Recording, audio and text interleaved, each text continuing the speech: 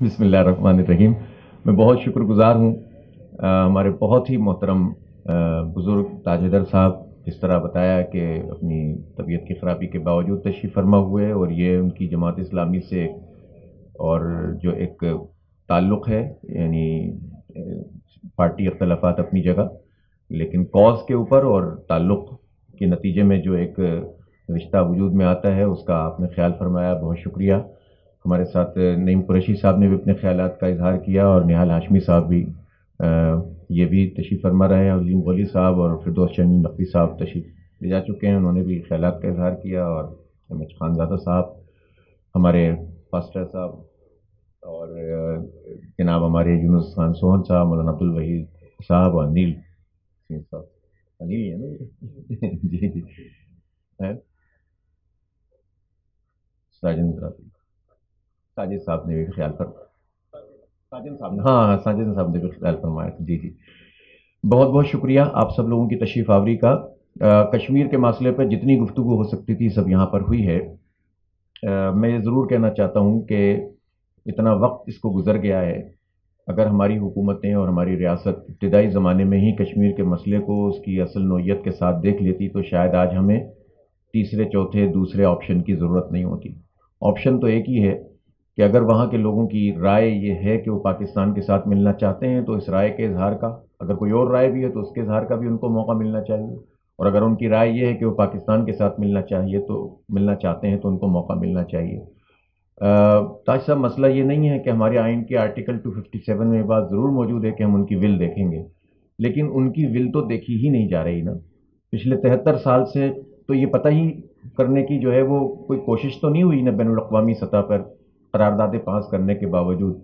हालाँकि अकवा मुतहदा के दोहरे मैार सबके सामने हैं ईस्टर्न तैमूर के ऊपर तो आपने चंद चंद बरसों के अंदर जो है वो फैसला कर लिया। साउदर्न सूडान के ऊपर आपने चंद बरसों में फैसला कर लिया। और आप देख भी रहे हैं कि उसका हाल क्या है दुनिया में, उसमें करप्शन लूट मार ये सब अपनी जगह मौजूद है। लेकिन अकवा मुतहदा पूरी खड़ी हो गई। इराक में जिसमें कहा गया कि मास डिस्ट्रक्शन के वेपन्स मौजूद हैं, सिर्फ़ इस बुनियाद पर, इस झूठ की बुनियाद के ऊपर पूरी दुनिया टूट पड़ी उसके ऊपर और मिलियंस ऑफ़ पीपल अब तक शहीद हो चुके हैं वहाँ पर। अलमिया वहाँ बहरान जन्म ले चुके हैं कई, लेकिन वहाँ से तो कुछ भी नहीं मिला। एक सुई भी दरियाफ्त नहीं हुई। तो इन बुनियादों के ऊपर और जब ये नाइन इलेवन हुआ तो अफ़गानिस्तान के ऊपर चढ़ दौड़े। तो ये इन सब चीज़ों पर तो अकवा मुतहदा जाग भी जाती है और बड़ी जो ताकतवर ममलिकतें हैं वो उसका सहारा लेकर कमज़ोर कौमों के ऊपर टूट भी पड़ती हैं। लेकिन जो सही मानों में जहाँ पर ह्यूमन राइट्स की वायलेशन हो रही है, जहाँ पर उनको, उनके हक से महरूम किया गया है, जहाँ उनकी शहादतें होती हैं, जहाँ उनकी इज़्ज़तें पामाल होती हैं, जहाँ हज़ारों लाखों की तादाद में लोगों को माजूर कर दिया गया है, उसके लिए अकवा मुतहदा नहीं जागती है। ये मसला क्या है? दुनिया में कभी भी माजरत खान रवैयों के साथ और अल्तजाओं के साथ दुनिया में ताकत पर लोग कमज़ोरों को हक नहीं देते हैं।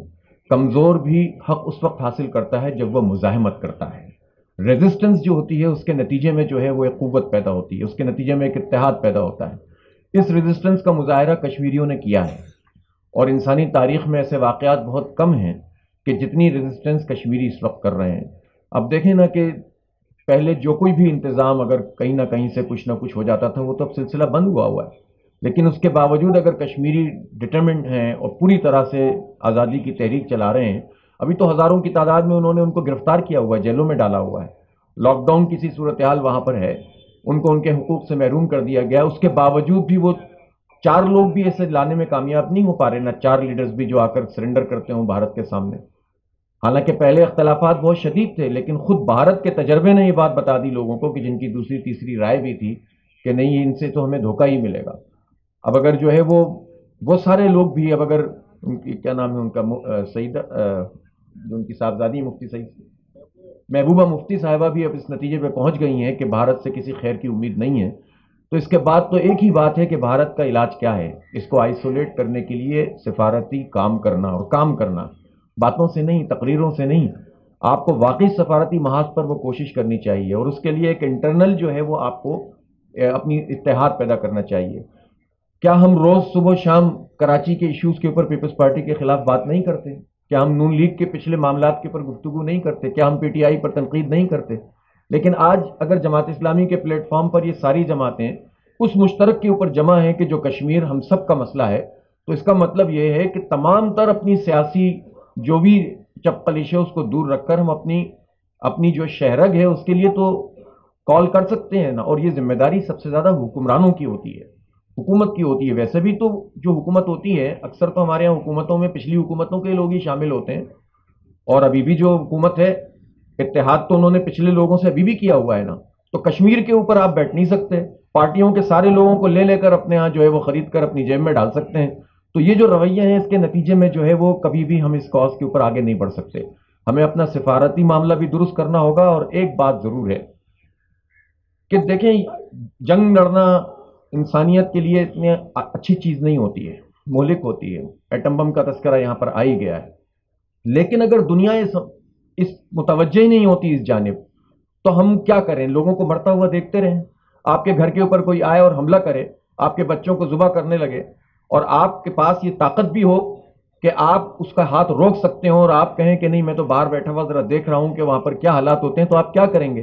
क्या हम कश्मीरियों को अपना बच्चा नहीं समझते हैं? क्या कश्मीरी हमारे लिए नहीं कुर्बानियाँ देते हैं? क्या परचम पाकिस्तान का लिपट कर वो जो है वो दफन होना पसंद नहीं करते? क्या उनकी बेटियाँ और माएँ जो है वो पाकिस्तान, कश्मीर बनेगा पाकिस्तान के नारों के साथ जुलूस निकाल कर उनकी तदफीन नहीं करती? कि अब तो उनकी कब्रें भी उन्होंने दूर ले गए, कहते हैं वहाँ पर दफन भी नहीं करने देंगे, इंडियन आर्मी ये कहती है। क्या वहाँ पर जो है वो साढ़े सात लाख और अब तो दस लाख मिलिट्री और पैरा मिलिट्री फोर्सेज मौजूद नहीं है? तकरीबन डेढ़ पौने दो करोड़ की आबादी भी नहीं बनती है। पूरी की पूरी अगर आप मिला लें तो एक छोटी सी वादी के अंदर, जिसकी आबादी करोड़ के लगभग हो, और उसमें इतनी बड़ी तादाद में फौज मौजूद हो, और उस पर हम ये कहें कि लड़ना नहीं चाहिए तो फिर फौज क्यों है? जब हमें लड़ना नहीं है तो फौज किस लिए है? और दिफा किस चीज़ को कहते हैं? हम कौन से दिफा की बात करते हैं? क्या वो हमारे घर के अंदर लाहौर में आ जाए और कराची में आ जाए, फिर हम लड़ेंगे उनसे? क्या हम कश्मीर को अपने जिस्म का हिस्सा नहीं समझते? और मुझे इस बात से भी इतफाक है कि जो कानूनी और आईनी तरीके से आज़ाद जम्मू कश्मीर की हैसियत है अगर आज़ाद जम्मू कश्मीर की रियासत लड़ने के लिए तैयार हो तो हमें उन्हें सपोर्ट करना चाहिए। लेकिन मैं तो उससे पहले यह बात कहना चाहता हूँ कि जब बैन अवी कवानीन की वायलेशन इंडिया कर रहा हो, उसकी आर्मी कर रही हो, उसने आर्टिकल 35 ए और 370 को जो है वो खत्म कर दिया हो, और वहाँ पर मुसलसल इस तरह का वो अमल कर रहा हो तो फिर उसके बाद कम अज कम हम इतना तो कर दें कि अगर वहाँ पर कोई अपनी जो है वो जिद्दोजहद करते हुए अकवा मुतहदा के चार्टर के मुताबिक अगर वो मुजाहिमत करता है, अस्करी लिहाज से उसकी मदद तो करें, हम तो उसको भी दहशत गर्दी अगर करार देंगे तो किस तरह दुनिया में मामला ठीक होंगे? पुलवामा का अटैक अगर मकबूजा कश्मीर के लोगों ने किया तो आईनी, कानूनी बैन अवी चार्टर, तमाम चीज़ों के मुताबिक उसका हक हासिल है कि जब वो उनको दीवार से लगा दिया जाएगा तो वो अटैक करेंगे। हमें उसे सपोर्ट करना चाहिए। ठीक है, आप इन्फिल्ट्रेट ना करें, लेकिन जो इंडिजिनस तहरीक है, चाहे वो अस्करी हो, चाहे सियासी हो, उसको सपोर्ट करना हम पर लाजिम है और वाजिब है। हम उसमें भी डिफेंसिव हो जाते हैं। और उसके नतीजे में जब आप पीछे चलते चले जाते हैं तो इंडिया आगे बढ़ता चला जाता है। इंडिया का सिचुएशन तो देखें आप, सिख उसके खिलाफ हैं, दलित उसके खिलाफ हैं, मुसलमानों के खिलाफ वो है क्रिश्चियंस के खिलाफ वो है।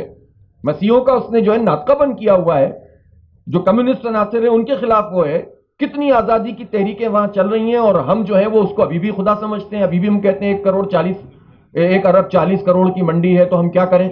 भाई, पाकिस्तान की जो जियो स्ट्रेटेजिक पोजिशन है और पाकिस्तान पिछले तवील अरसे से खत्े में जो रोल अदा करता रहा है, इस बात के कितने मौके हमें मिले हैं कि हम कश्मीर के लिए बहुत कुछ कर सकते थे। इसलिए हम अब भी ये समझते हैं कि जब कुरान पाक में जिहाद का ऑप्शन मौजूद है और उसकी पुकार भी मौजूद है तो दुनिया जैसी भी हो, इस ऑप्शन को सामने रखते हुए अपनी पूरी स्ट्रेटेजी को मुरतब करना होगा। आज आप थोड़ा सा आगे बढ़े, पूरी दुनिया आपसे बात करने के लिए आ जाएगी। लेकिन आप पीछे हटकर अगर बातें करते रहेंगे तो कोई आपकी बात नहीं सुनेगा। आपको सिफारती महाज पे भी भारत को अलग करना होगा और मकबूजा कश्मीर की तरफ़ पेशरफ भी करनी होगी। तारीख का यह सबब है कि आधा कश्मीर भी लड़कर आज़ाद हुआ था, पूरा कश्मीर भी लड़के ही आज़ाद होगा। कभी भी बरहमन साम्राज्य आपको इस तरह प्लेट में रखकर नहीं देगा। बहरहाल गुफ्तु बहुत हुई है, मैं सब मेहमान का शुक्रगुजार हूँ। और इन पाँच फरवरी को वो जो प्रोग्राम है कश्मीर योम यकजहती कश्मीर का, वो भी इन मनाएँगे।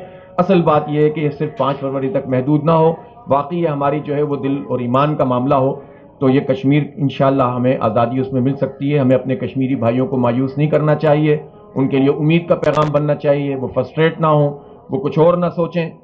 पूरी कौम को मिलकर अपने हुक्मरानों पर हमें सिर्फ़ इंडिया पे दबाव नहीं डालना, हमारी, हमारा मसला यह है कि हमें तो अपने हुक्मरानों पर भी दबाव डालना पड़ता है, अपनी रियासत पर भी दबाव डालना पड़ता है, और इसको हम अपने ईमानी फरीजे के तौर पर अंजाम देते रहेंगे। वाखर दावाना अलहमदिल्ला रबालमी